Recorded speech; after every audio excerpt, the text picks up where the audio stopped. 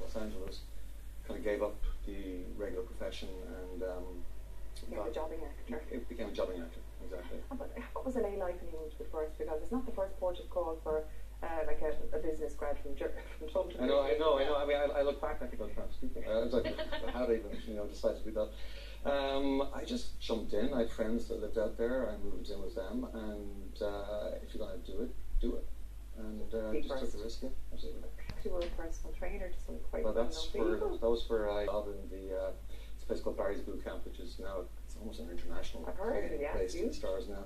And so I did that for three and a half years. You were That- that around kept me places going. like yeah, that, yeah, yeah. yeah. Well, not so much like that, but certainly like the, the headset and a lot of screaming. Oh my God, that's yeah. absolutely gas. Actually, um, I, Was I, I, wiggles along the way? it's always circuitous- circuitous. I, um, I, I